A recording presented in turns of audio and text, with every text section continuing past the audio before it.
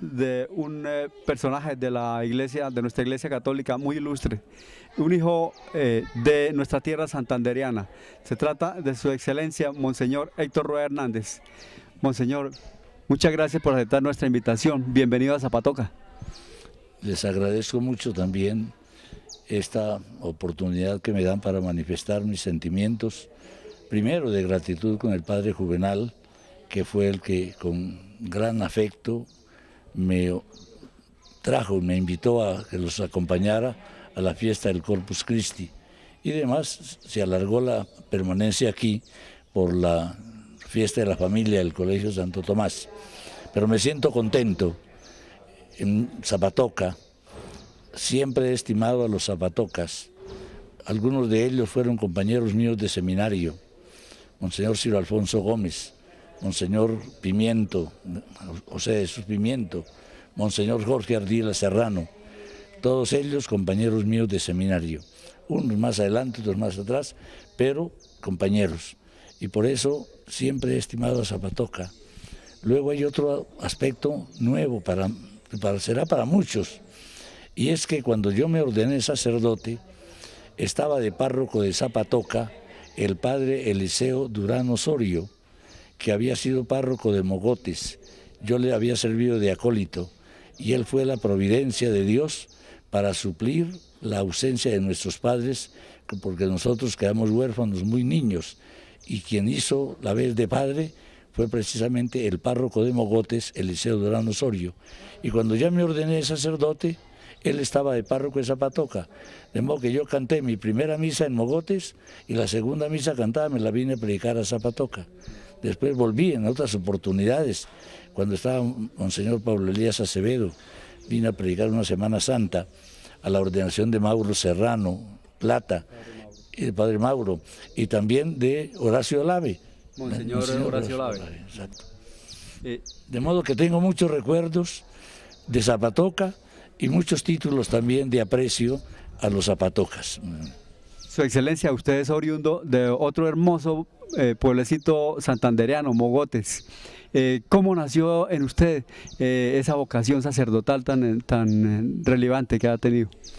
La vocación sacerdotal siempre es un misterio de un llamamiento de Dios allá en el interior del alma, pero esa vocación y ese llamamiento de Dios tuvo lugar en una familia sencilla, pero muy santa y buena. Yo por eso he dicho que a veces me pregunto a mí mismo por qué llegué a ser obispo y a un sacerdote. Pero las, los méritos los tienen nuestros padres santos y buenos que hicieron de su hogar sencillo, sin embargo, una verdadera iglesia doméstica, un lugar de santidad y de gracia, una escuela de virtudes cristianas. Y en ese ambiente recogido de la familia, es donde llega la mirada de Dios para escoger a uno, que me llevaron después desde muy niño al seminario. Así nació mi vocación sacerdotal en el ambiente familiar. Excelencia, eh, Santander, así como Antioquia, eh, son tierra prolífica en sacerdotes. Mm, aquí precisamente el mes de enero, seis muchachos nuestros se fueron a estudiar al seminario de San Gil. Dios quiera que ellos perseveren que sean generosos en responder a nuestro Señor, que puedan ir adelantando su formación en el seminario para que lleguen a ser sacerdotes, y sacerdotes tan ilustres y buenos como tantos que ha habido aquí de Zapatoca. Ya en mi vida que es larga, me acuerdo de quien me bautizó, Ulpiano Serrano Gómez. Zapatoca. Zapatoca, cura párroco de Mogotes. Después también Pablo Elías Acevedo, cuando me ordené sacerdote, él me mandaron de cooperador de él en el Socorro y con él estuve algo más de dos años de cooperador. Después tantos otros que han lucido aquí. Me, acuerdo del padre Guillermo Gómez Ortiz, de tantos otros, Luis Jesús Plata, Hermógenes Plata, en fin, la ciudad levítica, la que ha producido tantos sacerdotes y que no puede secar esa savia vital del espíritu sacerdotal en esta tierra que tiene tantas bendiciones de Dios, que he oído decir y ahora me confirmo más, de que Zapatoca es una tierra como muy pobre, pero la riqueza está en el corazón de sus habitantes. Y mi Dios, en estos corazones generosos y buenos, ciertamente despertará muchas vocaciones al sacerdocio. Monseñor, el Instituto Técnico Santo Tomás eh, celebró hoy eh, el, Día de la Familia, eh, con empezando con una hermosa Eucaristía presidida por usted. la familia hoy en día, Monseñor, tiene muchos inconvenientes en la misma sociedad. ¿Qué hacer para, para mantener esa célula viva de la sociedad? Ciertamente, la familia es la base fundamental de la sociedad si se dañan las familias, se daña también la sociedad. Por eso tenemos que defender mucho la familia, esa unión del hombre y de la mujer, unión santificada por el sacramento del matrimonio. Y como le decía hoy, el vínculo que los une es el amor de Dios presente en sus corazones por el Espíritu Santo, ese amor de Dios que es eterno. Por eso el vínculo matrimonial es un vínculo también indisoluble, porque los une el amor de Dios. Y ese amor de Dios tiene también la ventaja de que no envejece, pasan los años y los años y puede mantenerse siempre joven, como que se va renovando constantemente, porque el amor de Dios lo va renovando en el interior de los esposos. Con el tiempo van pasando y van cayendo muchas ilusiones, se van apagando muchas pasiones, pero va quedando en el fondo de los esposos un amor más íntimo, más profundo, más espiritual, más semejante al amor de Dios. Por eso hay que pedirle a nuestro Señor que se despierte en nuestras sociedades un respeto a la familia, y en los padres de familia eso de que santifiquen el amor de Dios con el sacramento del matrimonio para que ese amor de Dios como que los rejuvenezca, los refresque y les ah, vaya aumentando día por día el aprecio a la vida matrimonial y que el esposo sea para su cónyuge instrumento de salvación, para que los dos vayan viviendo en la paz, en la armonía, y así sean ellos no solo los que transmiten la sangre, sino sus sentimientos y su vida, y sean los verdaderos maestros de, de la familia. Yo todavía recuerdo ese hecho del Evangelio donde una mujercita del pueblo muy sencilla y humilde, viendo las cualidades de Jesús, tan atrayente, tan cautivador, tan lleno de mansedumbre, de ternura, de bondad, de compasión, por las bondades del Hijo, bendijo las bondades de la Madre. Bienaventurado el vientre que te llevó, bienaventurados los pechos que te alimentaron. Las cualidades del Hijo hablaban y predicaban las cualidades de la Madre. Lo mismo le tengo que decir ahora a todos los jóvenes, a los niños de hoy, a los jóvenes que ojalá ellos siempre lleven como esa preocupación de hablar bien de sus padres, que ellos sean el reflejo de veras de esas cualidades morales que los padres han transmitido en el alma y en el corazón de sus hijos. Monseñor, usted fue eh, por dos veces presidente de la Conferencia Episcopal Colombiana, eh, un cargo pues, de mucha responsabilidad. Cuéntenos acerca de sus experiencias en la conferencia. En la conferencia episcopal va uno a servir. Y sinceramente nunca aspiré yo a esas posiciones de tanto honor, pero que en la iglesia todos los honores son también cargas, y cargas muy pesadas. En latín solemos decir que honor es onus, el honor es una carga y muy pesada. Por eso yo digo que esas cosas va uno y llega porque lo, le piden el servicio. Pero siempre he tenido como norma de mi vida un salmo que dice que mi corazón no es ambicioso, no aspiro a grandezas que superan mis capacidades, porque apenas vive uno lo que es capaz de hacer. Y si llegué a esas posiciones es porque la bondad de Dios así lo quiso y mis compañeros me eligieron para ello. Su Excelencia, Colombia está viviendo momentos difíciles ¿Qué podemos hacer los cristianos, los católicos, para eh, que esta situación cambie, que sea más acorde con, los mandamientos de nuestro Señor Jesucristo? Pues lo primero que a mí se me ocurre decir es que tenemos que ser entre mejores católicos, mejores cristianos, vivir auténticamente la vida cristiana, porque hay veces que somos cristianos más de nombre que de verdad. Hay muchos cristianos como disfrazados, dijéramos, de, cristianos, pero que no llevan la vida de Cristo en el alma. Hay veces que gritamos con los labios, viva Cristo Rey, pero Cristo no vive en nuestros corazones. Y por eso no llevamos una vida sincera y auténticamente cristiana. Llevar esa vida así para que seamos verdaderos cristianos y podamos decir, Cristo vive en mí. Y yo llevo la vida de Dios en mi corazón.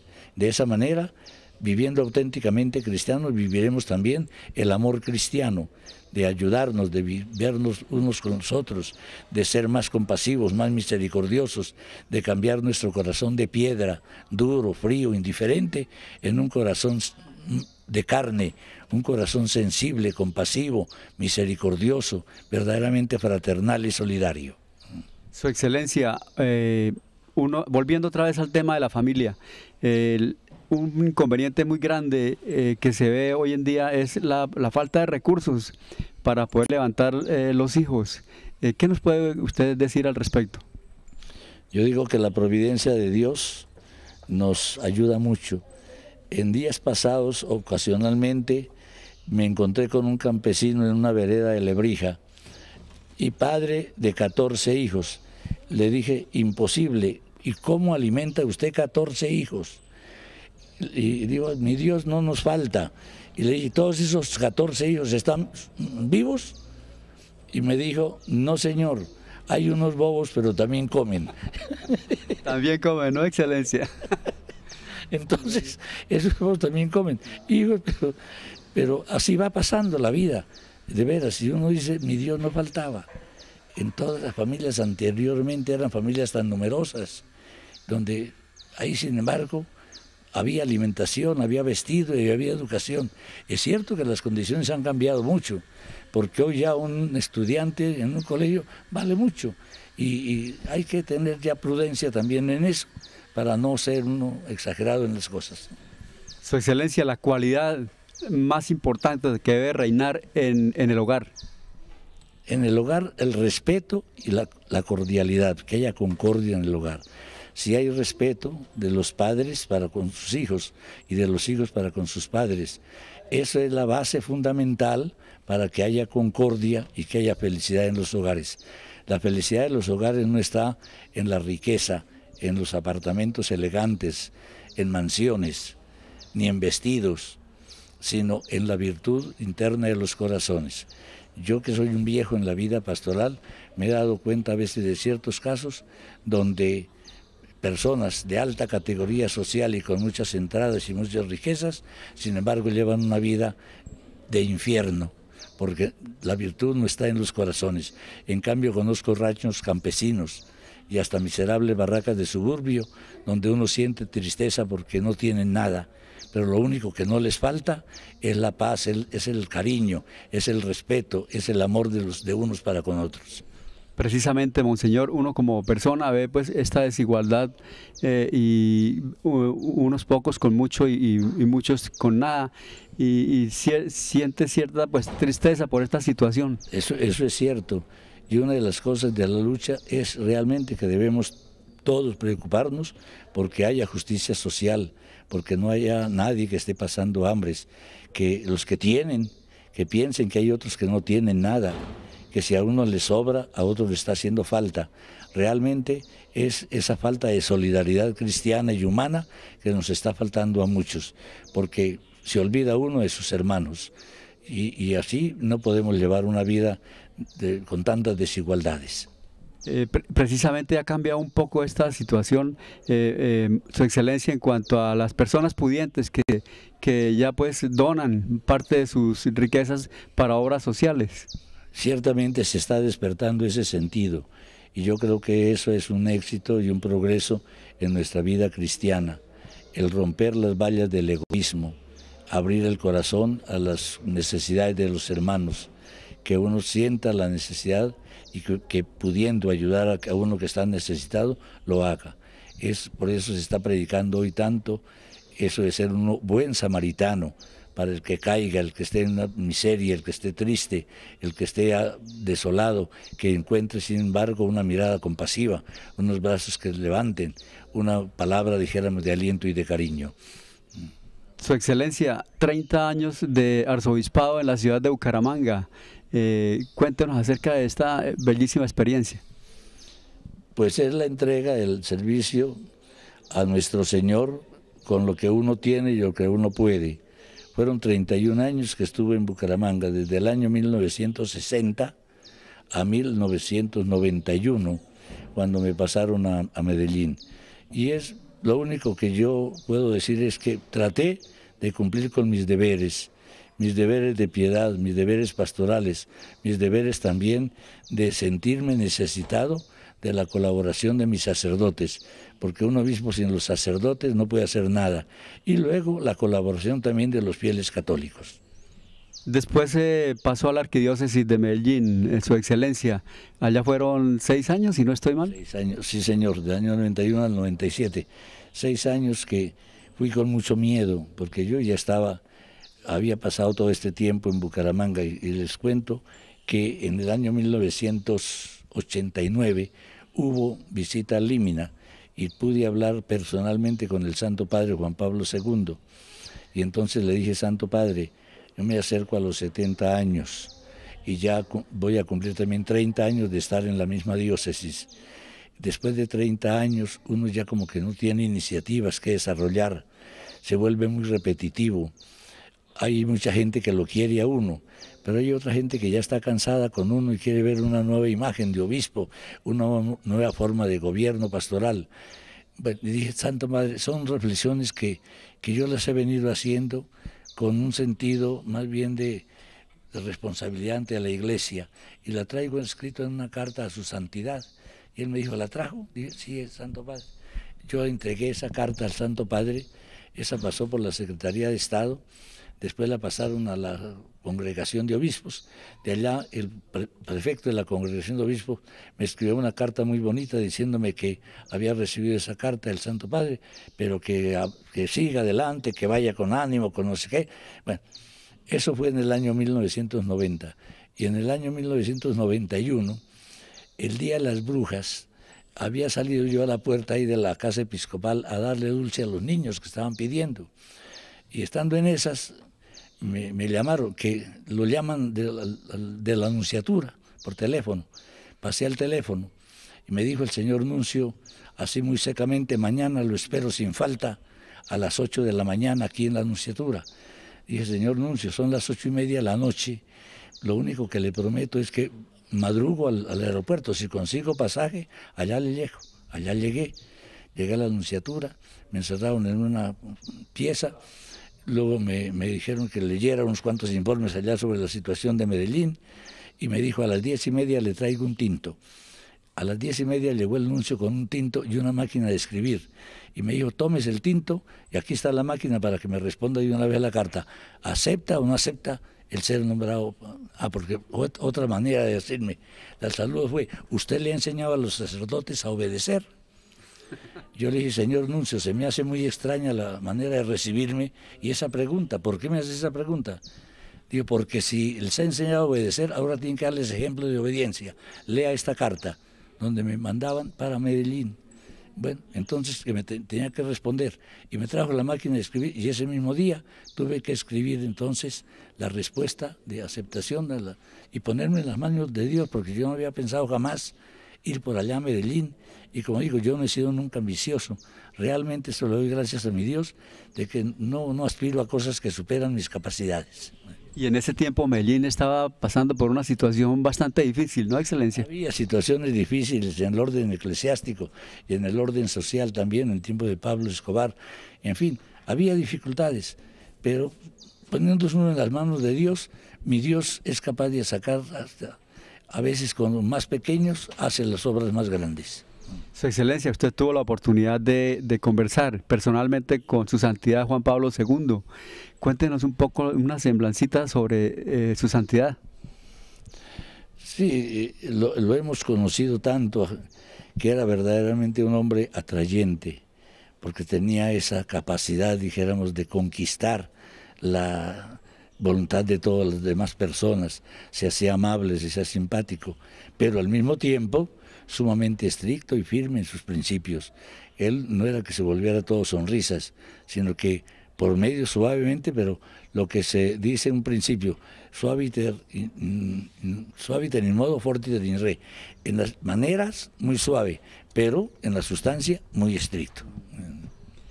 Monseñor, usted antes de ser obispo eh, tuvo la oportunidad de ser párroco en algunos municipios de Santander. Fue una experiencia, pues, aunque ya lejana, pues cuéntenos acerca de ella. A mí después de haber sido cooperador en el Socorro, me mandaron de párroco de Cincelada y vicario ecónomo del Encino. Me acuerdo que mi hermana que estudiaba aquí interna en el Colegio de la Presentación en Zapatoca, le puse un telegrama diciéndole nombrado cura de Cincelada y me respondió será Cincelejo. Cincelada no está en el mapa. Y eso es cierto, Cincelada es un corregimiento de Coromoro, un pueblo muy pequeñito, y ahí era párroco yo y tenía que administrar también al encino. Después de un año, el obispo me dijo, lo estás haciendo muy bien, te vamos a encimar a Coromoro. Y entonces era cura párroco de Cincelada, vicario ecónomo de Coromoro y vicario ecónomo del Encino, con residencia en una mula, porque no había carreteras. Era a toda hora en mula, caminando de una parroquia a la otra y atendiendo a los enfermos también en los campos, llevándole la Sagrada Comunión y los sacramentos, de últimos sacramentos a los enfermos. ¿En qué año fue esa, esa experiencia, su señoría? Eso fue en el año 1948, en septiembre me mandaron para allá, después de la muerte de Jorge Eliezer Gaitán ese año porque hubo unos meses que me mandaron también a, tapar un hueco allá en San José de Suaita, pero en septiembre fui a celebrar la fiesta de la Virgen de los Dolores a, Cincelada, que es la patrona de esa parroquia. ¿Cuántos años como párroco en, acá en Santander? Como párroco solamente tres años, tres meses, porque el señor obispo me hizo visita pastoral y resolvió llevarme secretario episcopal. De modo que en el año 1952 usted no había nacido y sin embargo yo ya estaba de secretario episcopal en la curia de San Gil. Y ahí estuve 52, 53 y al 54 me mandaron a Roma hasta finales del año 56 que regresé y en el 60, eh, cuatro años después, me hicieron obispo. Los antioqueños y los santandereanos, excelencia, ¿en qué nos parecemos? ¿En qué nos diferenciamos? Es, es difícil la, la, establecer las definiciones de esas diferencias, pero realmente nosotros somos más callados, pero como más sinceros, los santanderianos. El antioqueño es mucho más expresivo y no sabe uno hasta qué sentido sea muy sincero. Pero también nos ganan los antioqueños porque son muy echados para adelante, como solemos decir, en todo, en obras de progreso, pero hasta en obras de santidad también, porque fíjese que ella tiene allá el padre Marianito, que está ya beatificado, ahí está la madre Laura, ahí está Monseñor Willes, hay unos cuantos que ya llevan el proceso de canonización. Pasando a otro tema, Su Excelencia, este año en el mes de octubre se celebran elecciones para alcaldías y, bueno, consejos, etcétera. Eh, ¿Qué nos puede decir usted eh, a los zapatocas sobre esta, estas eh, elecciones que se van a llevar a cabo? Que miren bien a los candidatos, sus cualidades personales, sus intenciones y que las necesidades que tiene también aquí el, municipio y el departamento para ver cuáles son los candidatos que más dan garantías de éxito y de progreso. Yo no puedo decir nada ni de, unos ni de otros, estoy completamente alejado de la política, pero lo único que debe uno pensar es que haya personas que sean capaces, que sean buenos y que sean honestos también para atender a las necesidades de sus pueblos. Su Excelencia, el personaje que usted más admira también es una cuestión de hoy, por hoy, estoy admirando mucho, por ejemplo, a Juan Pablo II, ciertamente, pero hoy también con espíritu de fe y también de admiración a Ratzinger, el nuevo sumo pontífice, porque además de ser un gran intelectual, es un hombre muy santo y muy recto en sus intenciones. Su Excelencia, muchas gracias por esa amable atención que ha tenido de recibirnos. Eh, la bendición para toda la Grey de Zapatoca, eh, Monseñor. Con cariño y afecto, pero también con un gran sentido de fe, quiero enviar una bendición a todos y a cada uno de los hogares de Zapatoca, a todos y a cada una de las personas. Que Dios los bendiga, que les conceda salud, bienestar, éxito también en sus trabajos y que se mantengan siempre en paz con Dios y en paz con sus hermanos. Muchas gracias, Su Excelencia. Bien, yo les pague a ustedes también. Bueno, ustedes amables televidentes, muchas gracias por su atención. Esperamos encontrarlos en otra próxima edición de su programa Personajes. Muy buenas noches.